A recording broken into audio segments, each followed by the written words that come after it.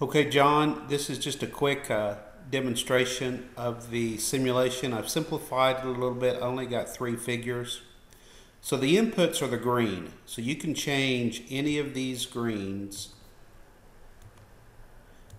any of these. You can change the number of customers. I've got it kind of on the maximum right now. So from a the benefit of risk pooling, uh, this is the best it could be. The smaller you make that, the less the benefit of risk pooling. You set the service level higher. The higher that is, the more benefit of risk pooling. If I set this at 99%, you'll see the bigger benefit versus something like 90%.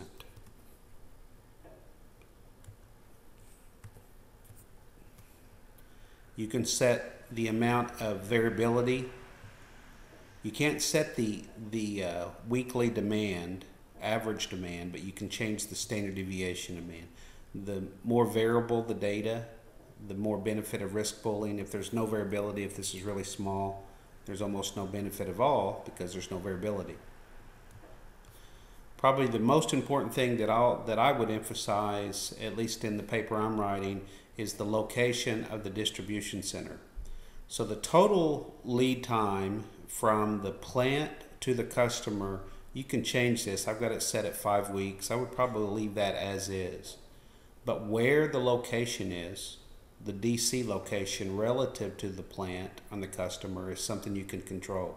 So if you want the DC really close to the customer, that's the biggest benefit. The, these numbers come between one and four. So when you have it close to one, it's really close to the customer, and that's the biggest benefit. If you would make this four, and that means it's really close to the plant, if you would do that, there's actually a the the amount of inventory that risk pooling has is actually a lot more than decentralized, and and so the risk pooling is actually worse when you have the plant, excuse me, the distribution center really close to the plant or very far away from the customers. It's only worth doing when you have it really close. And you've got those equations for break-even analysis. Down here at the bottom, these pictures, this shows you the total on-hand inventory.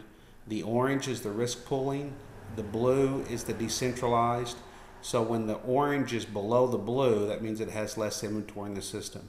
If you look at the average of this, that's what these show. This is average of decentralized. This is the average of risk pooling. The risk pooling actually shows up at two locations. There's some at the customer and there's some at the DC. And then these show service levels. There's really two ways to measure, there's probably more than two ways, but there's two ways to measure service level. One way to do it is to look at just individual items and look at the count, the number of stockouts. Uh, and divided by the total demand. That's what this is.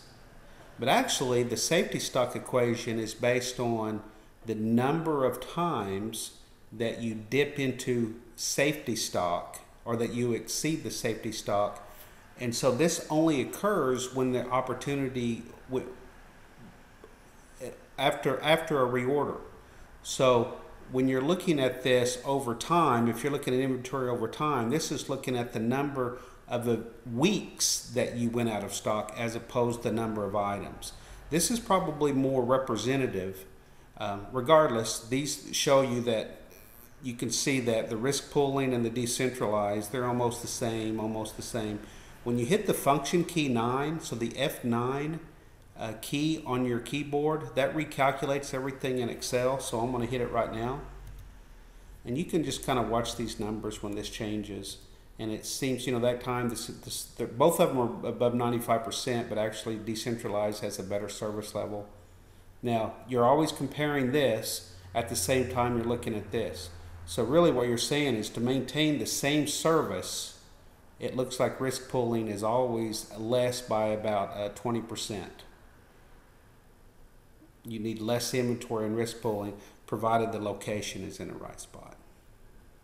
Now, these graphs are based on this output. So this output is in another worksheet. You can these are just tables of numbers, probably not as important, but the, these numbers is where these graphs come from. And then the nuts and bolts of the model is there's a DC worksheet that just shows the simulation. This is the keeping up all the numbers. And then this is for customer one. I've got some worksheets hidden.